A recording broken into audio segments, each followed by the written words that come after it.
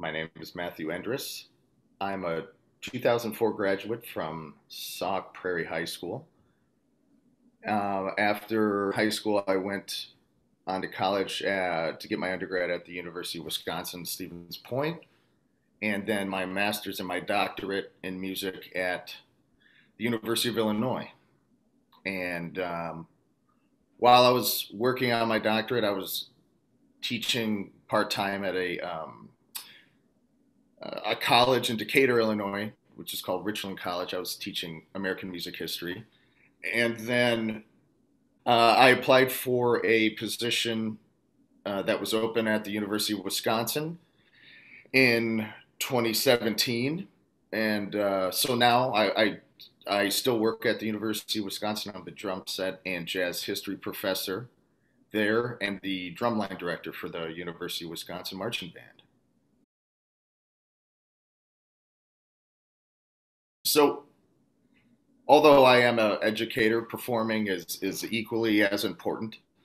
Uh, so I'm I really think of I'm more so a freelance musician where I, I play with several different people and and um, and organizations. So anything from groups in Illinois, uh, or I, I, do things with different groups in uh, based out of Colorado and and right here in Madison, and I locally mostly just doing club dates at, at places in Madison, and then I, I do a lot of traveling around Wisconsin, playing, doing little tours with different groups. I am playing often. Uh, that's different, you know, week by week, of course. Some weeks I won't have a gig, other weeks I might have three or four, and then I do strings of different tours with different groups. So, so performing is still very, um, um, it's, it's paramount, but it's pretty equal with the educational part of what I do. Well, my answer is going to be the same as a lot of other people you probably interview for this. And the first person who sticks out, obviously, is Sue Halloway um, for me. Um, and that's because for all of us, all the opportunities that we were given as students within the uh, music department at, at Sauk. Um, and like all of us know, who worked with Sue, she had this way of instilling passion and fire in you as a performer and and and and had high expectations of everybody. But Sue Halloway was absolutely the first person that inspired me and I felt was somebody who really pushed me, the first person that really pushed me into into performing and, and express uh, myself musically.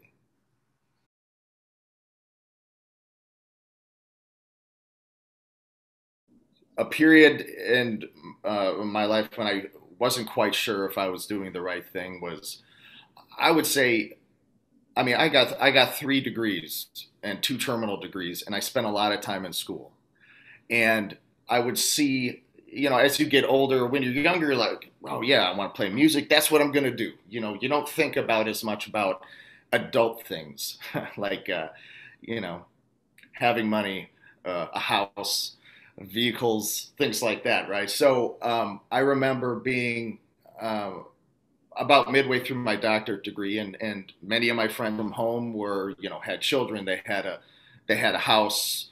You know, they had boats and you know they, they they they were doing things that I wanted to eventually get at, but I spent so many years in school, you know, hopping from apartment to apartment, being a teaching assistant at, at different universities. And uh, I remember feeling like I want these things. I want a family and I want to provide and I want to do these things. And going to school for music, uh, you, for me, I, I, was I was questioning like, is this is this going to? Of course, it's fulfilling playing music, and, and I wanted that to be my my gig. But it made me think: Is this going to take me to a place where I can feel like I am a successful adult? That that was that was the one period when I was like, I hope I didn't make a mistake.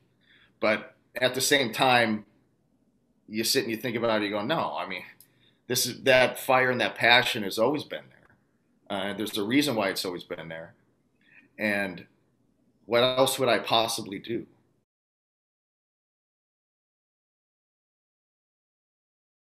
Coming from Wisconsin, we all are familiar with the band, and the band is like this.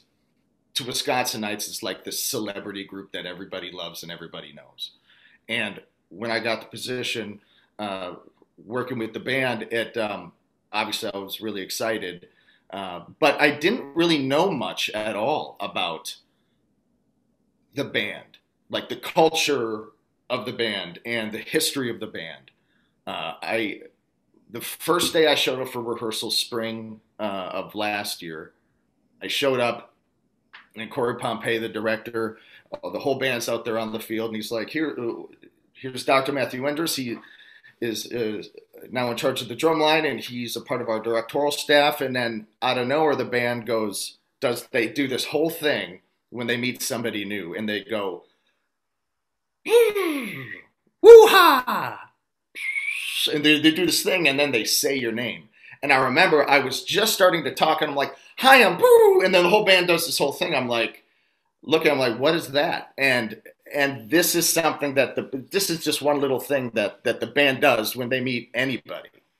And right away I was like, oh, okay, these, these you know, these kids are, are fun and they're kooky. And um, but the the really the coolest thing about working with the band obviously is working with fantastic musicians and and and, and students but just the rich tradition of things they say they're the hardest working band in the world and i'll tell you they are uh, you know when you have two home games two home games in a row on a week er, in two weeks um, you learn a new show for every home game and when you have two of them back to back you're learning drill, which is the formation on, on the field, the music, um, and it's all memorized. It needs to be memorized by game day.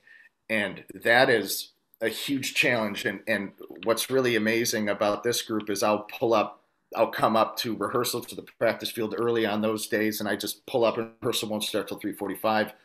But 75% of those kids are out on the field already going through their formations. And this isn't a rule. This is they're not told to do it. These kids are so dedicated to being to having a great product and delivering a great performance in a show that they're out there almost an hour early before every practice those weeks. Just doing them things the, the things by themselves going through their formations by themselves to help memorize. And it's just amazing working with a group of kids that play music and and and playing music for for this organization and for people they take very seriously.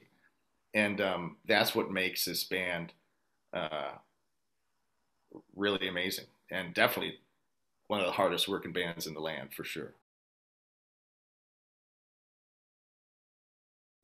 success is first of all being able to do regularly as your profession something that you love to do um, and you don't need to be the best at it in the world to be a success. You don't you don't need to be you know nationally renowned and recognized to have success. Uh, success to me in my field is being able to play music and perform and teach and be able to connect with people on a level uh, uh, like when I'm performing, being able to connect and, and give something to somebody musically something that that's a that's a nonverbal way of communicating and be able to exert desire, passion, love through things like playing for people. And on the teaching side, success for me is being able to watch these students grow and turn into mature, uh, mature um,